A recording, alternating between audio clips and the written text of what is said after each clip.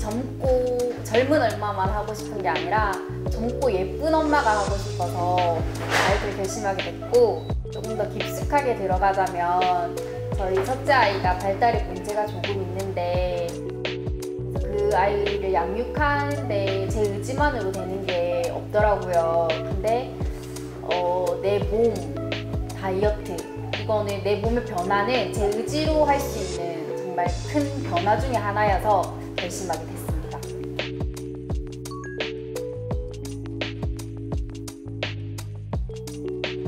일단은 저희 모두가 알다시피 다이어트는 적게 먹고 많이 움직여라인데 그건 기본이지만 어, 사실 또 뭘 먹냐가 더 중요한 것 같아요. 이론 플러스는 다들 아시다시피 면역 회사기 때문에 어, 저는 아침 저녁으로 영양이 균형 있게 잡힌 어, 생식을 먹었고요.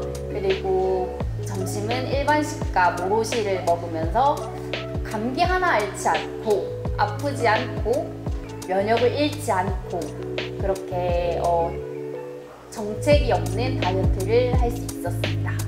그게 일반 다이어트와 모로실 다이어트의 차이점인 것 같아요.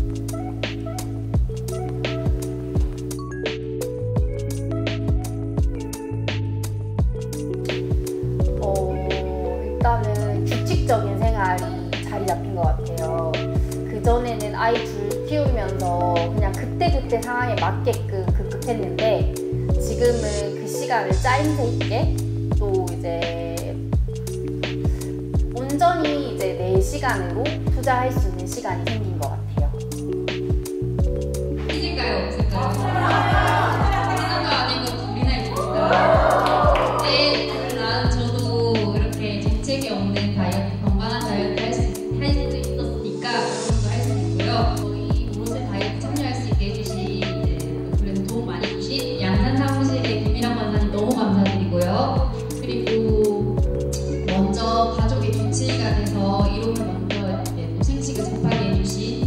저희 엄마 엄현미 권사님 너무 감사하고 사랑합니다.